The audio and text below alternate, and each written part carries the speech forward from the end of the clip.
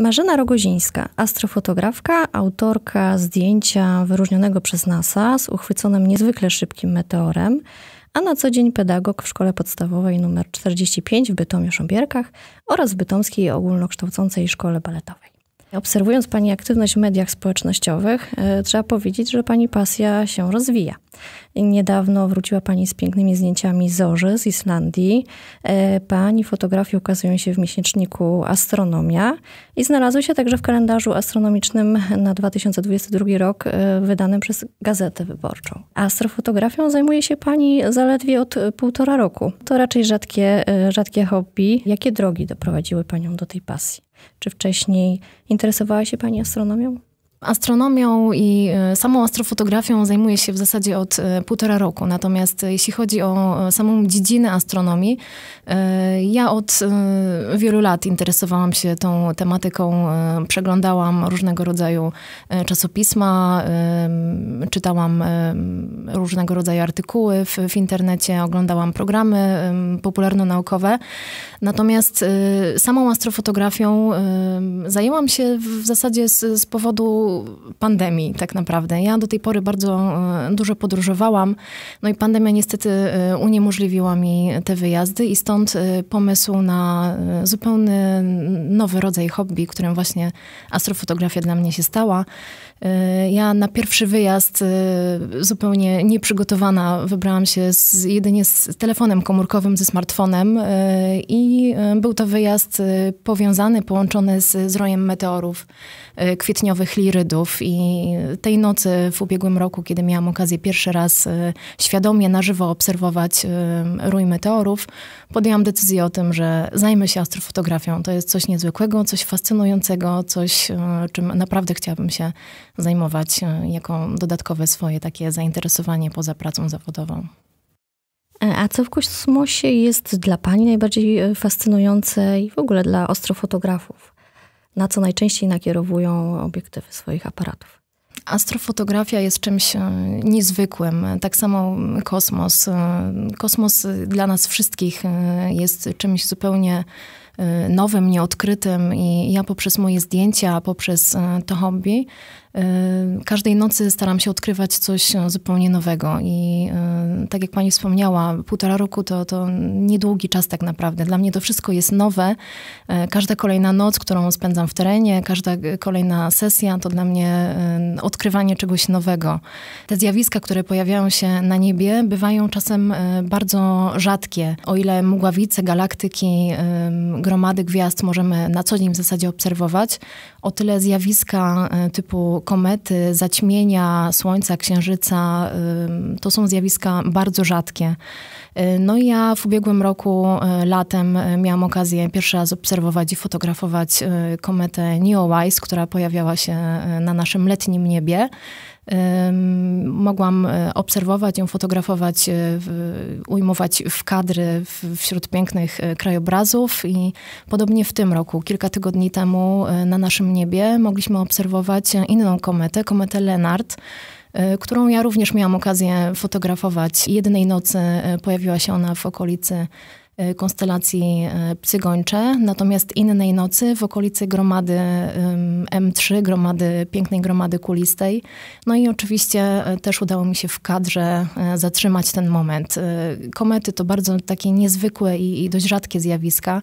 Dlatego to jest też fantastyczna okazja do tego, żeby ten kadr ująć i te komety nie wracają do nas już, dlatego jedynie e, taka okazja do tego, by ją sfotografować. Podobnie zaćmienia Słońca, Księżyca to są dość rzadkie zjawiska i one fascynują nas, astrofotografów, ale także osoby, które zupełnie nie zajmują się tym, tym tematem. A z jakich miejsc najczęściej pani fotografuje? Bo to też nie jest takie proste znaleźć e, to miejsce. Jak pani znajduje konkretną, taką idealną dla pani lokalizację? No i jak wygląda ekwipunek, który pani zabiera? Czy tego jest bardzo dużo? Przygotowuję się do sesji w zależności od tego, jakie e, plany mam na e, daną noc. E, jeśli planuję wykonać zdjęcia krajobrazowe, to oczywiście wcześniej staram się wyszukać odpowiednie miejsce, by ten plener był ciekawy, interesujący. Przeglądam fora internetowe, grupy astrofotograficzne, na których dzielimy się informacjami i, i tymi ciekawymi miejscami. E, no i staram się też te miejsca odwiedzać. E, jeśli planuję e, sesję, że tak powiem, zwyczajną sesję, kiedy planuję fotografować obiekty głębokiego nieba, wówczas szukam pola. Tak naprawdę szerokie pola to, to jest bardzo dobre miejsce do wykonywania sesji, ponieważ mam tam odkryty horyzont, nie przeszkadzają drzewa, lasy, ani żadne zarośla, dlatego jest to dobre miejsce, aby tego typu sesje wykonać. Ja oczywiście wcześniej dokładnie sprawdzam prognozy pogody. Y, często zdarza się tak, że przemierzam dziesiątki czy nawet setki kilometrów właśnie po to, żeby tą noc spędzić y, pod czystym niebem, kiedy mam pewność, że te kilka godzin czystego nieba tam w tym miejscu akurat będzie. Na taką sesję, w zależności też od tego, jaki plan mój na, na fotografię, zabieram albo teleskop z odpowiednim wyposażeniem, czyli astrokamerą, albo aparatem. E, to wszystko zawieszone jest na tak zwanym montażu paralaktycznym, dzięki któremu e, mój teleskop podąża za pozornym ruchem gwiazd i e, gwiazdy nie są przecinkami, są kropeczkami, także dokładnie można to ostre zdjęcie wtedy zobaczyć. Natomiast kiedy planuję taką sesję krajobrazową, to zabieramy mniejszy sprzęt, nie zabieram teleskopu, tylko obiektywy, zwykle takie szerokokątne obiektywy, które dają mi dość szeroki kadr, gdzie będę mogła uchwycić właśnie mm, naszą drogę mleczną w pięknym krajobrazie górskim e, czy, czy leśnym e, z, z jeziorami, łąkami. To są też piękne kadry. Żeby pochwycić piękno jakiegoś zjawiska, czasem trzeba wielogodzinnego nocnego czuwania. Nie dokucza pani senność, znużenie? Jak w praktyce wygląda taka nocna sesja? E, czy to jest po prostu ciągłe ustawianie sprzętu, czy może jest tam chwila na jakąś kontemplację i faktycznie patrzenie gwiazdy i rozmyślanie? E, to takie dwa w jednym tak naprawdę. E, ja kiedy już e, udaję się na miejsce, w którym sesja będę wykonywać, przygotowuję oczywiście cały sprzęt, ustawiam wszystko tak, by sprzęt automatycznie w zasadzie zbierał materiał, który na daną noc mam zaplanowany. Kiedy już wszystko poustawiam, mam faktycznie moment czasu na to, by poobserwować. No, najlepsze warunki ku temu zdarzają się latem, kiedy jest rzeczywiście ciepło. Ja potrafię z, z moim przenośnym sprzętem i, i fotelikiem czy krzesełkiem turystycznym spędzić całą noc tak naprawdę obserwując y, gwiazdy.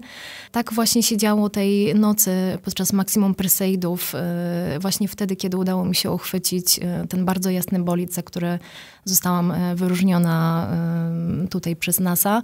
Tą noc spędziłam całą obserwując niebo, obserwując Perseidy, obserwując te spadające gwiazdy. No było to coś niesamowitego i niezwykłego.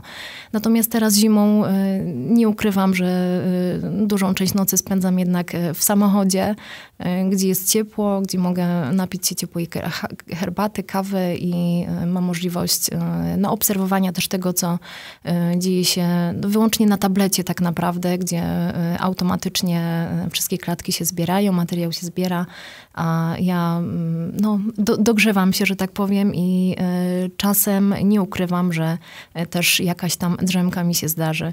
Ja tutaj dodam, że dosyć często na takie wyjazdy udaje się razem e, z moimi znajomymi, których e, w tej chwili już mam dosyć spore grono. E, no i okazuje się, że tutaj na, Śląs na Śląsku dosyć duża rzesza osób, które również tą astrofotografią się zajmują, więc bardzo lubimy w, w, szerszym gronie na takie wyjazdy e, wyjeżdżać. E, latem, jesienią, wiosną e, organizujemy sobie ognisko, grill, więc mamy naprawdę przyjemne warunki. Sprzęt tutaj każdego z nas zbiera materiał, no a my jakby też udajemy się na pogawędki, rozmawiamy o tym, co się dzieje na naszym niebie, ale też rozmawiamy o różnych miłych i przyjemnych rzeczach. Wiele zdjęć e, tak zwanego głębokiego nieba, które pani wykonała, na przykład mgławic, e, ma niesamowitą, piękną kolorystykę, zresztą bardzo chwaloną przez pani kolegów również. To naturalne kolory kosmosu, czy raczej może wyraz artystycznego wyczucia fotografa podczas już obróbki zdjęć? Nasze oczy są niestety bardzo niedoskonałym narzędziem. E, gdyby były one skonstruowane w taki sposób jak e, matryca e, aparatu czy takiej astrokamery, spoglądając w nocne niebo, widzieliśmy, widzielibyśmy piękne barwy, piękne kolory, które rzeczywiście w tym kosmosie się znajdują. Natomiast my niestety spoglądając na niebo widzimy jedynie drobne białe kropeczki i nic poza tym tak naprawdę. E, stąd też te kolory, które pojawiają się na zdjęciach, to wszystko tam tak naprawdę jest. Jedynie my naszym gołym okiem nie jesteśmy w stanie tego zaobserwować.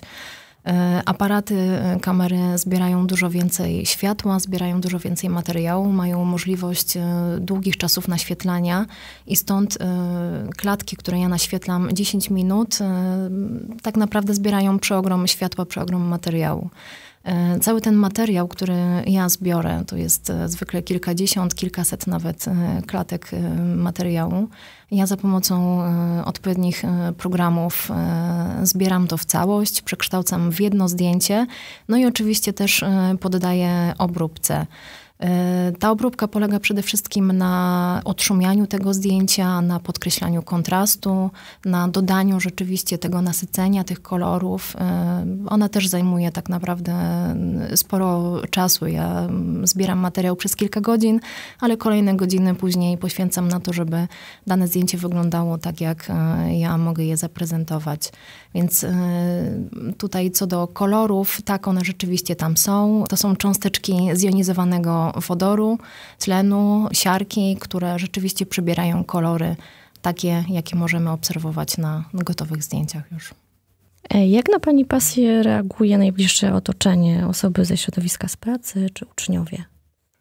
E, no, szczerze mówiąc, jest to dość e, niezwykłe hobby. Zresztą ja, e, zanim astrofotografią się zajęłam, nie znałam tak naprawdę w, w, moim gronie osób, które taką pasję miały. Teraz mam dosyć spore grono znajomych, którzy astrofotografią się zajmują, natomiast e, rodzina, znajomi kibicują mi tak naprawdę tutaj w, w tej mojej pasji i e, kolejne wyróżnienia, e, wyróżnienie tutaj NASA, czy publikacja zdjęć w czasopismach już takich specjalistycznych, motywują mnie tak naprawdę jeszcze bardziej do tego, by starać się, by tego ciemnego i czystego nieba poszukiwać.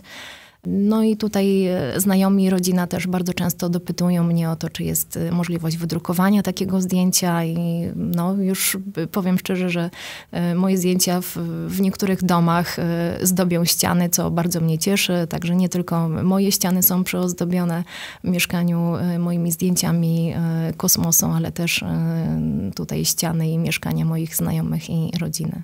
A jakie są Pani aktualne astrofotograficzne projekty? Jakie ma Pani plany? I te najbliższe, i te najśmielsze? Z racji tego, że y, tym hobby zajmuję się półtora roku, czyli tak naprawdę niedługo, wszystko przede mną. Ja tak sobie to wyobrażam i, i tak to widzę. Y, Pierwszymi takimi planami, które e, już miałam okazję e, zrealizować i, i, które w dalszym ciągu e, planuję, to podróże połączone z astrofotografią. W tym roku mój wakacyjny urlop spędziłam na La Palmie, hiszpańskiej wyspie, gdzie to niebo pod astrofotografię i pod obserwacje nocne jest fantastyczne wręcz w skali tutaj świata, nie tylko Europy, ale całego świata. I kolejne moje plany na pewno związane będą z dalszymi wyjazdami, związanymi no właśnie tutaj z astrofotografią. Y, planuję być może za jakiś czas y, wyjazd na południową półkulę, gdzie będę mogła stamtąd obserwować zupełnie inny skrawek nieba, zupełnie inny skrawek kosmosu, co mnie bardzo ciekawi. No, planuję również obserwację zaćmienia Słońca. Myślę, że za kilka lat na taką obserwację i w taką podróż również się udam. Myślę, że kolejne projekty z, związane z publikacją moich zdjęć e, w czasopismach, e, być może wydawnictwa, e, kalendarze i tak dalej, to co w tym roku już jakby udało mi się też zrealizować, Moje zdjęcia e, zdobią kalendarze między innymi tutaj e, Gazety Wyborczej, czy też innych publikacji, które do tej pory pojawiły się, co mnie bardzo cieszy. Także plany mam bardzo szerokie i mam nadzieję, że w najbliższym czasie pomału, małymi kroczkami będę je realizować. No a ten kosmos dalej będzie dla mnie otwarty i będzie gotowy na to, bym mogła swoimi sprzętami tutaj go rejestrować i, i zaglądać w te najdalsze zakamarki. Astrofotografia zdominowała Pani życie? E, tak, zdecydowanie w ostatnim czasie e, sporo czasu tak naprawdę poświęcam na samą astrofotografię. Natomiast, e, tak jak mówię, w dalszym ciągu staram się łączyć podróże tutaj z, z pasją fotografii, dlatego że widzę, że można to połączyć i, i to jest takie dla mnie dwa w jednym. Jest to coś niezwykłego, dzięki czemu mogę tak naprawdę zająć się czymś zupełnie innym niż e, tymi problemami, które gdzieś tam na co dzień każdy z nas ma i, i spoglądanie w to niebo e, jest naprawdę taką fantastyczną odskocznią od dnia naszego codziennego i od tej naszej rzeczywistości, która bywa trudna czasem.